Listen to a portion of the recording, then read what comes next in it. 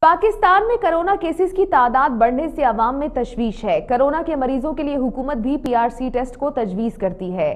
لوگ ٹیسٹ کروانے کے لیے سفارشیں اور مختلف ذرائع استعمال کر رہے ہیں۔ زیادہ لوگوں کے ٹیسٹ کرانے سے لیبارٹری پر بوجھ بڑھ گیا ہے۔ حکومتی ٹیم کی پریس بریفنگ کہا پندرہ ٹن کے سامان میں infrared walk through gates ventilators شامل ہوں گے۔ سرسٹھ وینٹیلیٹرز کا آرڈر دے دیا۔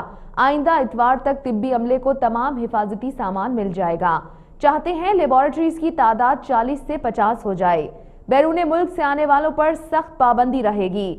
کرتارپور سمیت تمام ملکی سرحدیں چار اپریل تک بند رہیں گی۔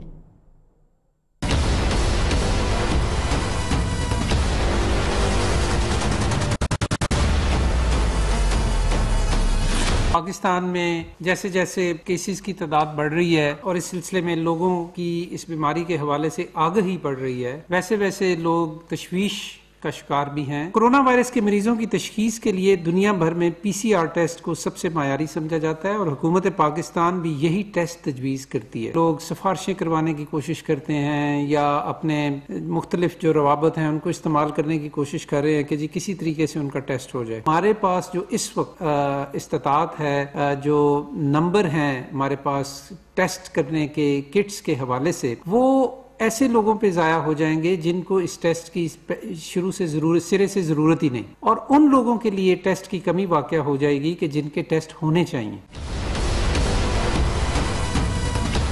تقریباً پینتالیس ٹن کے قریب لوڈ ہوگا، جس میں ہمارے وینٹیلیٹرز ہیں، اس میں ہمارے واک تھرو گیٹس ہیں ہمارے ایئرپورٹس کے لیے۔ اس وقت تک این ڈی ایم اے نے چھ سو اناسی وینٹیلیٹرز جو ہیں، ان کا آرڈر جو ہے وہ بک کر دیا ہوا ہے۔ اور مجھے امید ہے کہ اگلے ایک سے ڈیڑھ ہفتے کے دوران چار سو کے قریب وینٹیلیٹرز جو ہیں وہ پاکستان میں پہنچ جائیں گے۔ انشاءاللہ یہ لیبارٹریاں لگنے کے بعد چوبیس ہو جائیں گی، لیکن اس تعداد کو ہم بتدریج پہلے پینتیس، چالیس اور پھر پچاس پہ لے کے جائیں گے اگلے پندرہ سے بیس دنوں کے اندر اندر۔